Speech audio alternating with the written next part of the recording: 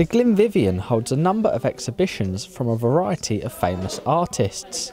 But on Wednesday afternoon, it's the turn of local members of the community to try their hand in the art world. Everyone is encouraged to let their creative juices flow, with clay, paint, and pencils amongst the things used.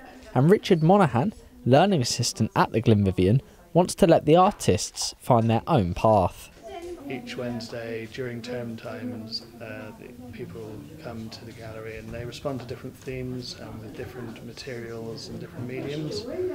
And we allow them really to structure it themselves. So I'm here to help and to teach sometimes, but also we allow them to really grow their own projects and do, do that individually. So I think uh, the main thing is that they have sort of control over the sort of uh, way their artwork progresses, but obviously also sometimes you need someone to bounce ideas off or someone to uh, talk to about the direction of the work. So we're really here to help inspire people, but not to sort of um, in, in any way tell them what to do. We're just really here to open up possibilities. Ron Heaven attends the class every week and says the sessions are vital to him and helped him cope with the loss of his wife. I, I come here about a year before the Glynn Vivian was closed for five years for refurbishment and everything. And I found it most helpful. All things not the only aspect of painting that's all I was interested in but there was such a variety of other things that you could do. But I thoroughly enjoyed every bit of it because you only have to ask and the people that's in here if anyone can help each other that's what they do.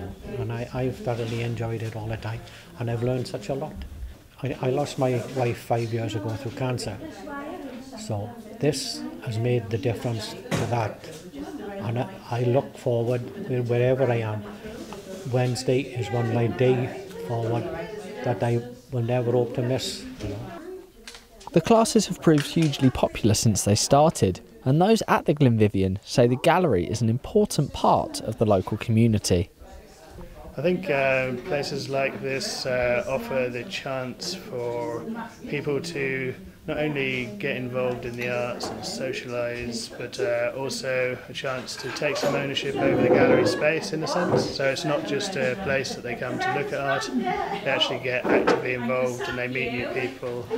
And so I think it, it plays a really important role right across the different age groups and the different people we, uh, we work with. It's, um, it goes out through Swansea and it, it makes the gallery relevant and it's I think it's really the reason for the gallery is to get the people of Swansea interested in art, and so this is one way we can we can do that.